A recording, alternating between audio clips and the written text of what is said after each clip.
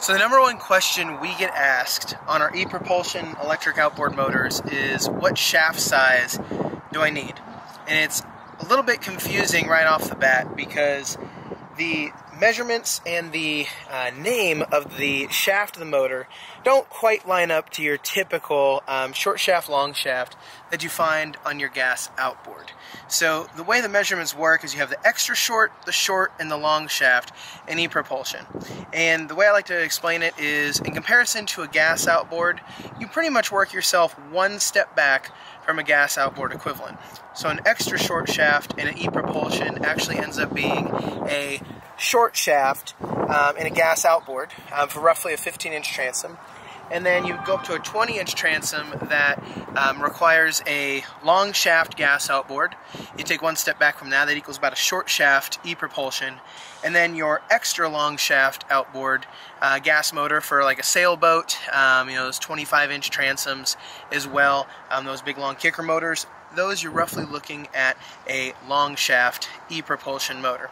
So taking that into effect, we're going to do a little bit of measuring here on the different transoms to see exactly how to dial that in um, and you know uncover a couple facts here about the transom heights to measure out exactly what we need. So looking at roughly a little bit under 15 and a half inches.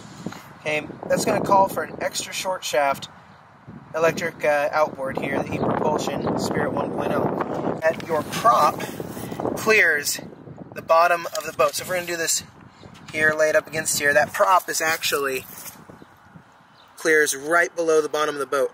So the key zone you want to be able to make this measurement on is that this top of the prop is about even with the bottom of the boat or, you know, down a couple of inches. Anywhere in this two inch zone below the bottom of the boat is where ideally you want the top of that prop to be to be able to grab enough water but also not be too deep in the water or be too shallow and you get too much air and cavitation and you don't get the maximum amount of thrust um, that you would out of this prop. So,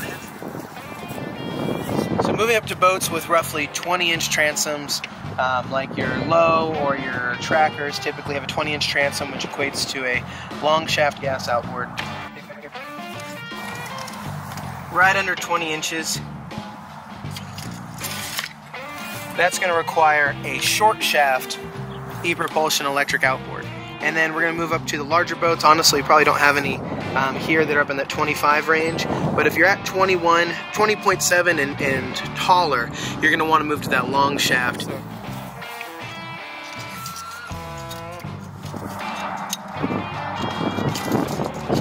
Yeah, this equates to about 22 and a half inches. And that's going to require the long or the uh, long shaft e-propulsion electric outboard um, anything over 20.7 inches is going to call for that long shaft.